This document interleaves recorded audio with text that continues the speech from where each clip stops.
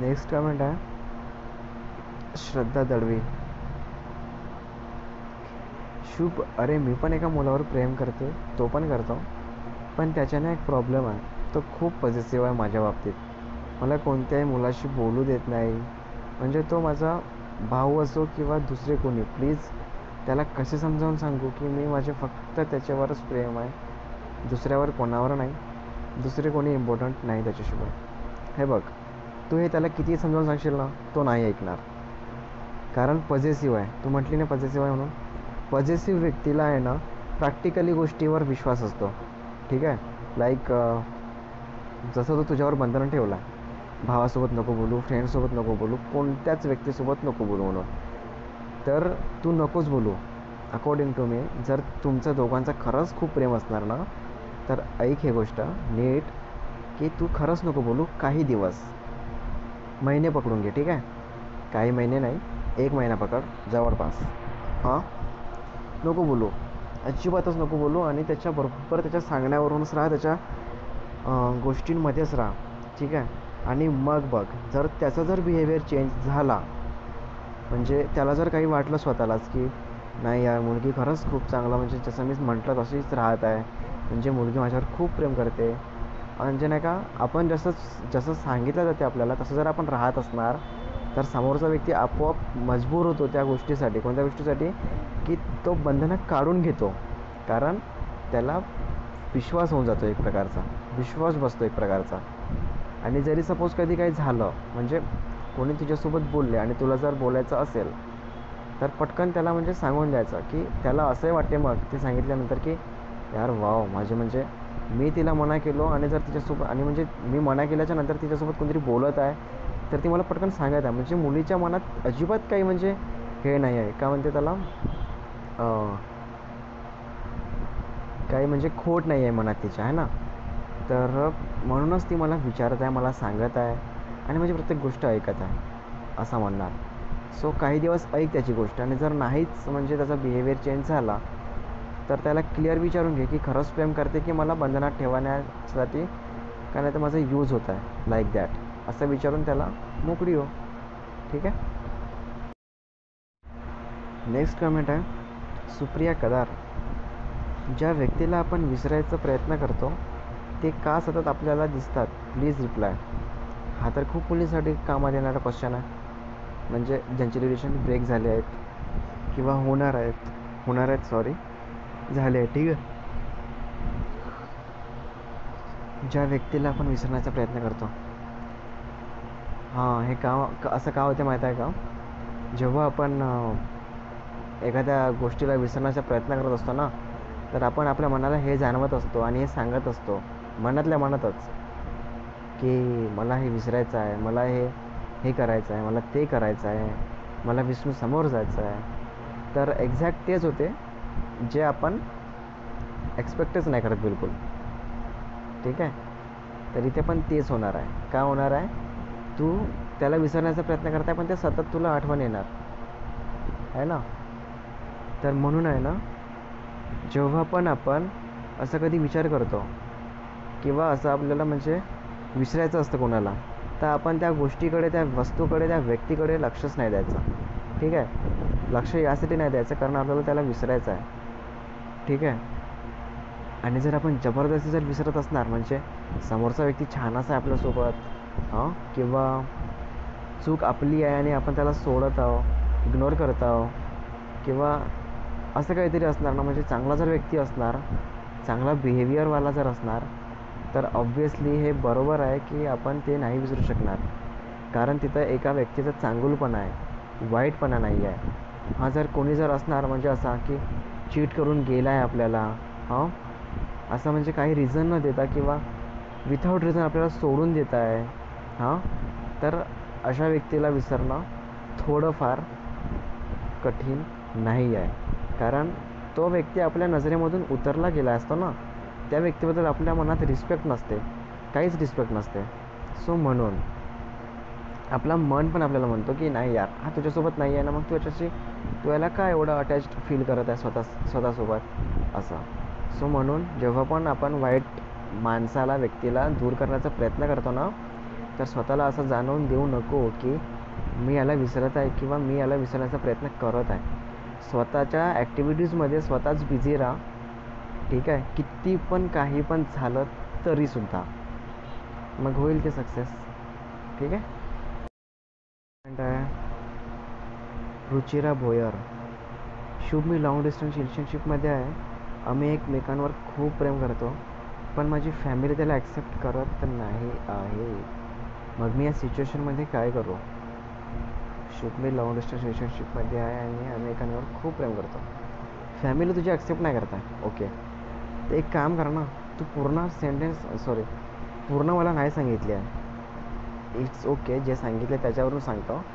मग कमेंटमध्ये विचारशील ठीक आहे? जे काय म्हणजे क्वेश्चन्स असतील तुझे. सो लॉंग डिस्टन्स रिलेशनशिप फॅमिलीला विचार. त्या म्हणजे ते त्याला ॲक्सेप्ट का नाही करत आहे? ठीक आहे? त्यांना एक्झॅक्ट जो काही म्हणजे इश्यू असणार मुलाबद्दलचा लाईक ओळखत नाही दूरचा आहे हां? किंवा कास्ट कास्ट मॅटर करत असणार किंवा मुलगा सेल्फ डिपेंडंट नाही आहे स्वतःच्या पायावर उभा नाही आहे हां? विचार त्यांना काय हवं आहे आणि त्यांनी त्याला का ॲक्सेप्ट नाही करत आहे? ठीक आहे? मग सांगतो मी तुला याच्यावर. ठीक आहे? कमेंट आहे. शीतल सरदार. ओके कुठं आहे ना? मला एका मुलाने प्रपोज केला होता. मी त्याला खूप नाही म्हणाले. अँड तसं मी त्याला जास्त ओळख ओळखतही नाही. फक्त तो माझ्या फ्रेंड्सचा फ्रेंड आहे. एवढाच. फ्रेंडचा फ्रेंड ओके त्याने प्रपोज करण्या अगोदर काही कधी भेटलोही नाही. तो खूप मागे लागला लग्नासाठी पण विचारलं. हो का? अच्छा. खूप विचारलं आणि मी हो म्हणले.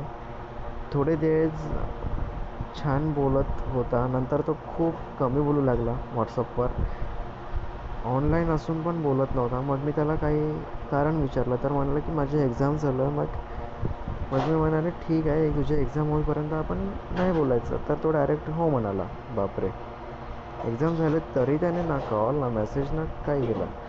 मग मी पण विचार करण करणं सोडून दिलं. आता परत आला आहे काय करू? हो का? त्याला एकच गोष्ट म्हण फक्त. लाज आणि शरम विकून खाल्ला का म्हणा? ठीक आहे? कलंक म्हणतात ना कलंक हा वर्ड या मुलावर बरोबर सूट होते असं खरं सांगायचं झालं तर. हे बघ शीतल सरदार ऐक. तुझ्या फ्रेंडचा फ्रेंड होता तो. ठीक आहे? खूपदा विचारलं तुला त्याने तू नाहीच म्हणत होती नाहीच म्हणत होती. पण जेव्हा त्याने लग्नासाठी तुला विचारलं तेव्हा पण तू ऑब्व्हियसली नाहीच म्हटली असणार पण काही दिवसांनी तर तू हो म्हटली त्याला. कारण तुझ्या मनात कुठं ना कुठं असं आलं असणार असा विचार आला असणार की मुलगा मला प्रेमाबद्दल विचारत आहे खूप जणं प्रेमाबद्दल विचारतात. पण हा मला लग्नासाठी सुद्धा विचारला आहे सो होऊ शकते हा मला कुठं ना कुठं प्रेम करत असेल. तर तू लग्न ह्या गोष्टीला घेऊन आहे ना तू त्याला हो म्हटली. मला तरी असं वाटतं नाईंटी नाईन पर्सेंट मी शुअर आहे या गोष्टीला घेऊन. ठीक आहे? कारण तू म्हटली आधीच की त्याला बरोबर ओळखत पण नाही आणि कधी भेटली पण नाही आहे. सो यावरून करते. ठीक आहे ना? सो मी जे म्हणजे अजून केलं आहे ते बरोबर आहे का मला सांगशील लग्नासाठी विचारल्याच्या नंतर तुझ्या मनात काहीतरी वेगळी फिलिंग आली असणार. त्या मुलाला घेऊन. म्हणून कुठं ना कुठे काहीतरी विचार करून तू त्याला हो म्हटली असं मला वाटते. सो हे बरोबर आहे की नाही हे नक्की सांग ठीक आहे? हां. तर जेव्हा तुला गरज होती त्याची तेव्हा तो तुझ्यासोबत नव्हता. म्हणजेच काय? जेव्हा तुला पण वाटलं की नाही खूप मुलगा छान आहे. प्रेम झाल्यासारखं म्हणजे वाटत होतं बोलावं असं वाटत होता. तेव्हा तो तुला इग्नोर करून सोडून दिला. कारण तेव्हा त्याच्याजवळ दुसरी कोणीतरी मुलगी होती. आणि ती आता नाही आहे म्हणून तो तुझ्याकडे आला आहे. सो डिअर एकच सजेशन देणार. त्या मुलाला ना मेसेज करू नको ना कॉल करू नको. जसं त्याने तुझ्यासोबत बिहेव केला सोडून दिला. विथाऊट एनी रिझन तसंच तू पण कर. आणि जस्ट इग्नोर करून आपल्या लाईफमध्ये मूव ऑन कर. लाईफमध्ये बाकीच्या पण काही गोष्टी आहेत. अशा मुलांना टाईम देऊन वेळ देऊन स्वतःच्या लाईफसोबत गेम खेळल्यासारखं खेळू नको. ठीक आहे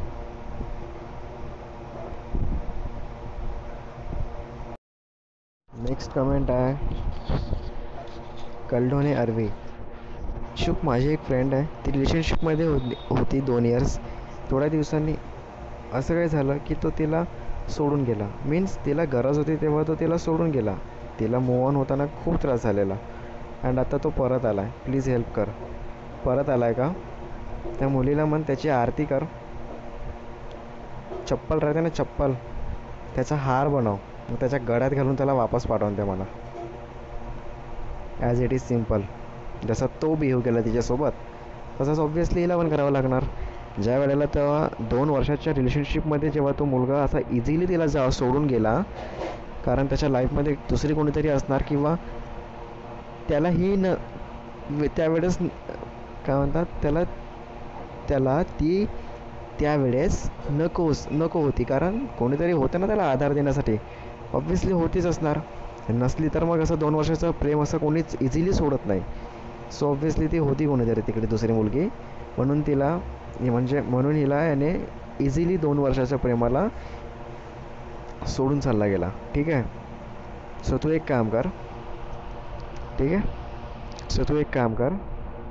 तिला डायरेक्ट म्हण. जसं आत्ता सांगितल्याप्रमाणे. काय करायचं? आरती करायची. ठीक आहे? चप्पलचा हार बनवून त्याच्या गळ्यात घालून त्याला वापस पाठवायचं. ठीक आहे? आणि ऑब्व्हियसली मु मुलगी बी ती दोन वर्षाचं प्रेम मूव ऑन करताना तर ऑब्व्हियसली तिला त्रास झालेलाच असणार. सो प्लीज तिला जस्ट मूव ऑन केली आहे ती. So this is good thing तिला डायरेक्ट म्हणा काही गरज नाही आहे म्हणा या मुलासोबत. आता एक शब्द जरी बोलायचे ना भेटायची ना बोलायचे. सो तिला असं छान समजावून सांग. आणि जर नसेल समजत ती तर मग तिला डायरेक्ट एकच गोष्ट म्हण की लाईफ तुझी खूप चांगली आता चालत होती मूव ऑन केल्याच्यानंतर. आता तू परत त्या लाईफला तुझ्या तुझ्या जीवनाला तू एका खूप खोल म्हणजे गड्ड्यामध्ये नाही का टाकत आहे. सो तिथून निघणं खूप अवघड आहे. ठीक आहे ना? सो तू नंतर मग भोगायला तयार राहा म्हणा. जे काही होणार तिच्यासोबत. दॅट्स इट नेक्स्ट कमेंट आहे नेहा शेख. मी तुला विचारलं आहे तेच सांग मला. अजून एक विचारते. रिलेशनशिपला जास्त टाईम झाला तर त्या रिलेशनशिपमध्ये प्रेम कमी होतं का? हे बघ. प्रेम काही कमी वगैरे नाही होत. ठीक आहे? उलट त्या रिलेशनशिपमध्ये प्रेम वाढत जाते. पण जेव्हा रिलेशनशिपमध्ये असणारे कपल्स जे कोणी आहेत दोन त्यांनी जर एकमेकांवर खूप प्रेम करत असणार अंडरस्टँडिंग छान असणार हां प्रेम असणार काळजी असणार एकमेकांची हां त्यांना सोबत एकमेकासोबत जगावंसं वाटत असणार राहायचं असणार. ठीक आहे ना? तर ते म्हणजे एकमेकांसाठी खूप म्हणजे एकमेकांना मानतात. आणि दिवसेंदिवस त्यांच्यामधला प्रेम जो आहे ना तो वाढतच जातो की नाही? दोघांना प्राऊड फील होते की वाव आज दोन वर्ष झाले तीन वर्ष झाले चार वर्ष झाले. काही कपल्स तर असे पण असतात की वीक म्हणजे हप्त्याने हप्ता असा म्हणजे वाढत आहे ना म्हणजे वाव यार आपल्याला ना आता दोन वर्ष एक हप्ता झाला. असं म्हणून पण खुश होतात. म्हणजे दॅट इज लव है ना? हा म्हणजे एक प्रेमाचा भाग आहे. की ती म्हणजे हॅप्पीनेस असते. एक छोट्या छोट्या गोष्टींमध्ये ते हॅप्पीनेस शोधत असतात. सो असं असतं. म्हणजे त्यांना खूप खुशी होते. खूप खूप खूप जास्त. सो असं असतं. ठीक आहे? प्रेम वगैरे काही कमी नव्हतं. आणि तुम्हाला विचारली होती मागच्या व्हिडिओमध्ये की तुझा जो कोणी बॉयफ्रेंड आहे त्याच्याशी तुला लग्न करायचं आहे तर तुझ्या घरचे त्याला नाही म्हणत आहेत. तर ऑब्व्हियसली काहीतरी कारणं असतात. ठीक आहे ना. घरच्या घरचे जर मुलासोबत बोलायला तयार नसतील तर काही कारण असणार. घरच्यांच्या मनात असणार. ठीक आहे. कारण कसं असतं ना घडलेलं असतं काही. लव मॅरेजला घेऊन. ठीक आहे. इंटरकास्ट मॅरेज घेऊन. किंवा मग काही समाज लोक सोसायटी या सगळ्या गोष्टी असतात. तर जे काही रिझन असतात ते त्यांना नेमकं विचारायचं. मम्मा पप्पा असं असं गोष्ट आहे तर काय करू सांगा. पटकन सांगून द्यायचं मम्मी पप्पाला जेव्हा आपण प्रेम करतो लग्न करायचं असतं तर. मग त्यांनी सांगतात बेटा असं झालं आहे आधी. बेटा लोक काय म्हणतील? बेटा सोसायटीवाले काय म्हणतील? मग म्हणायचं आपण की जे काही म्हणजे ना नंतर सांगणार ते रिझन फॉर एक्झाम्पल सोसायटी सांगत असतील त्याच्यावर बोलायचं मग आपण. आता तुला बोलता नसेल सांगशील proper reason next comment trolling पार्टमध्ये मग तुला सांगतो मी त्याचं नेमकं कारण काय आहे आणि काय करायचं आहे ते. ठीक आहे? नेक्स्ट कमेंट आहे समीक्षा। हाय शुभ मी समीक्षा। मी एक मुलगी आहे त्या दिवशी माझ्या फ्रेंडचा बड्डे होता म्हणून त्या त्याची डी होती. अच्छा ओके हो मला माहिती आहे तू मुलगीच आहे म्हणून पण मला वाटलं की तुझा भाऊ वगैरे म्हणजे हा अकाउंट हँडल करत असणार. नाही म्हणजे असे माझ्या चॅनलवर आहेत ना मुलांच्या ह्याच्यावरून पण मुली आहेत खूप साऱ्या. ठीक आहे? म्हणून म्हटलं होतं. आणि मला एक विचारायचं आहे की लव मॅरेज कारण करणं इतकं सोपं आहे का? कधी कधी घरातील लव मॅरेज कधी कधी घरातले लव मॅरेजसाठी नकार देतात. मग प्रेमाला विसरा विसरून जावं लागतं. मग मला सांग घरातल्यांना कसं म्हणवायचं लव मॅरेजसाठी? लव मॅरेजसाठी म्हणवायचा काही फॉर्म्युला नाही राहत किंवा कोणती गोष्ट नाही राहत किंवा काही समजवणं नाही राहत पहिली गोष्ट ठीक आहे? हा डाऊट क्लिअर झाला. सो नेक्स्ट दुसरी गोष्ट ही आहे की सिच्युएशनवर डिपेंड करते. कास्ट सॉरी कास्ट नाही. घरच्यांना विचारायचं आपण. मम्मी पप्पा असं असं मॅटर आहे माझा. असं असं मी एका मुलावर प्रेम करते. तो हे करतो तो ते करतो मी हे करते मी ते करते. कास्ट आमची डिफरंट आहे किंवा सेम आहे व्हॉट एवर हां तर आम्हाला लग्न करायचं आहे. तर तुम्हाला काही प्रॉब्लेम आहे का? मग तुझे मम्मी पप्पा बोलणार. जे काही प्रॉब्लेम असणार ऑब्व्हियसली ते. मग त्या प्रॉब्लेम त्या प्रॉब्लेम वाईज मग आपण सिच्युएशनला हँडल करायचा. फॉर एक्झाम्पल कास्ट मॅटर असू शकते किंवा असं लव्ह मॅरेजसाठी होकार दिला आहे त्यांनी पण काही दुसरं घडलं असणार काही म्हणजे वाईट झालं असणार सो त्यांचा विश्वास नसता. तर ते विश्वास आपल्याला एक प्रकारचा क्रिएट करावा लागतं त्यांच्या मनात एक विश्वास बसवावा लागतं. आणि हे काम कोण करणार? तू आणि तुझा तू म्हणजे सॉरी तू स्वतः नाही विचारली ना? हां तर मग ते कपल्स करणार. ज्यांना लव्ह मॅरेज करायची असते ना ते कपल्स करणार. बोलणार त्यांच्या बोलण्यावरूनच झडक झडकणार की त्यांना म्हणजे किती खुश राहणार ते किती म्हणजे त्यांची इच्छा आहे आणि किती म्हणजे ते खरंच म्हणजे सेल्फ डिपेंडंट आहेत. है ना? स्वतःच्या पायावर उभे राहून ते काहीतरी करू शकतात. असं फील झालं पाहिजे. मुलीच्या मम्मी पप्पाला. तेव्हा जाऊन त्या मुलीला परमिशन मिळते किंवा त्या मुलाला. सो स्पेसिफिक कारण दे मला. लव मॅरेज कसं करायचं? असं जर विचारायचं असेल तुला तर मग मला सांग की एक्झॅक्ट सिच्युएशन काय? लाईक बॉयफ्रेंड का करतो? गर्लफ्रेंड का करते? हां? ते किती वर्षाचे आहेत? हां? त्यांच्या घरचे कसे आहेत? कुठले आहेत?